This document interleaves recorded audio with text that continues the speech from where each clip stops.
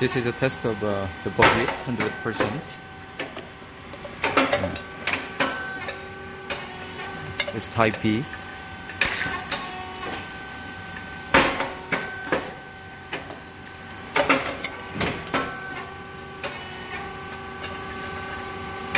It's 100% out.